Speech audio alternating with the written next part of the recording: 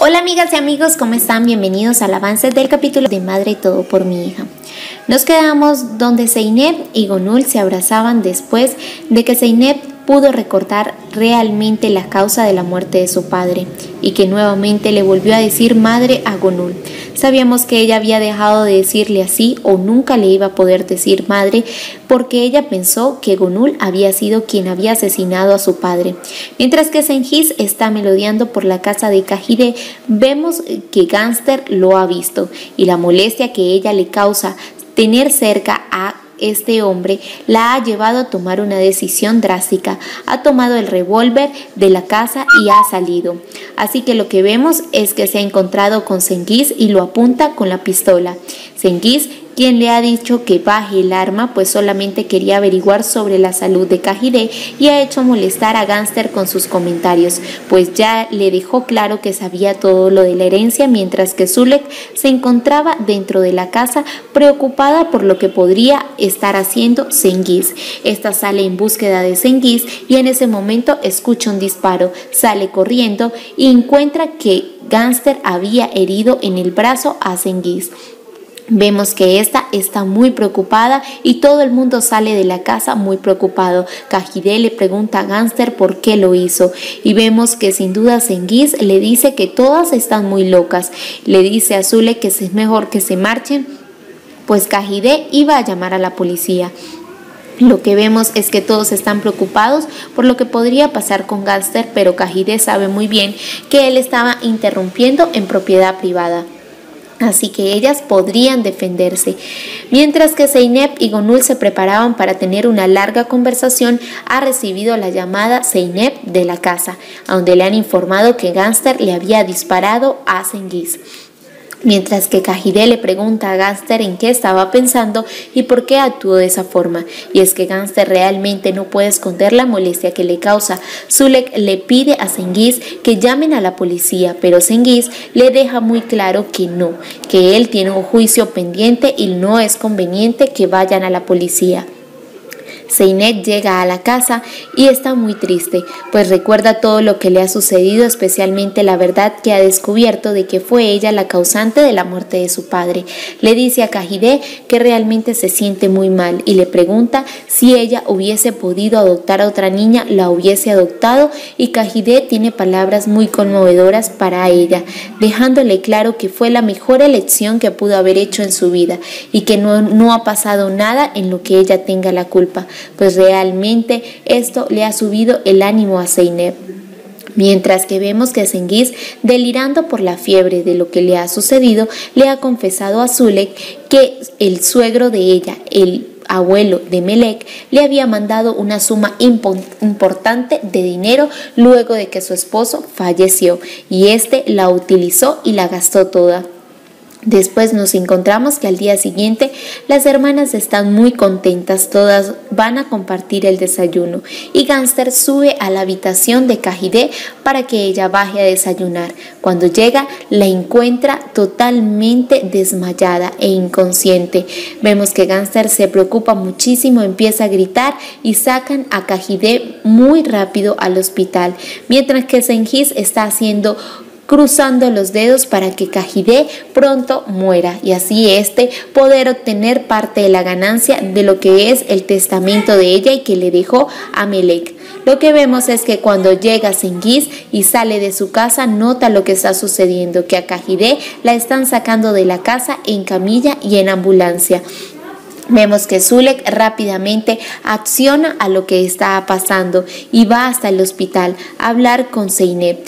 Esta le dice que lamenta muchísimo lo que está pasando con su madre y vemos que en ese momento Zeynep habla con ella y le dice que tiene que tener en cuenta que Senghis está muy alerta por lo que ha pasado y que realmente el único beneficio que él tiene es poder hacer de que Melek, el dinero que le dejó Cajide, lo utilicen de otra forma. Le dice que se unan, que ellas aman a Turna, así que deberían de unirse para que ella tenga una mejor vida. Le pide Zeynep a Zulek que entregue la niña en adopción. Zulek le dice que no se le entregará a ella, pero Zeynep le dice que a ella no, que se la entregue a otra familia. Cuando se escuchan los gritos de las hermanas y es que Cajide ha muerto. Para todos es una gran sorpresa, pero para Senguis es una gran felicidad.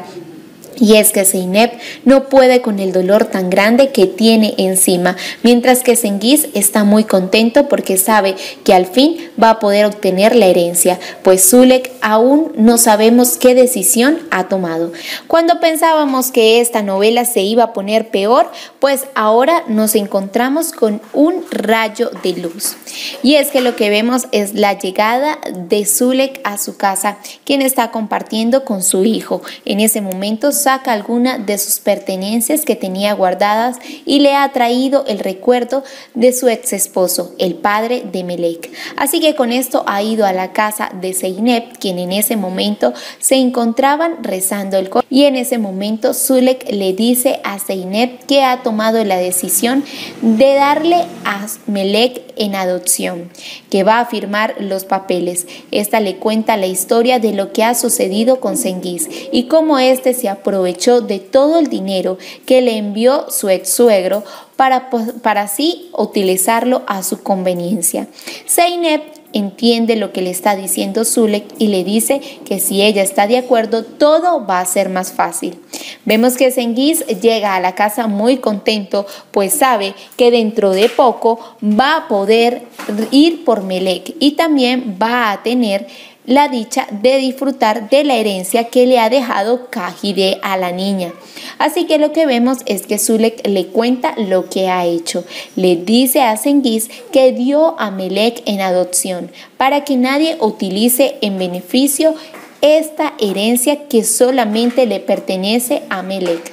Sengiz se ofende muchísimo pues le pregunta qué hizo a espaldas de su esposo mientras que Melek se encontraba escogiendo su nueva habitación, una habitación que iba a ser hecha a la medida de ella, con aves, árboles y muchas decoraciones bonitas que a ella le gustaba. En ese momento ha llegado Gangster a traer más las noticias, pues Sengiz venía con la policía a reclamar a Melek, pues este ha sacado la libreta donde comprueba de que él es el padre de Melek.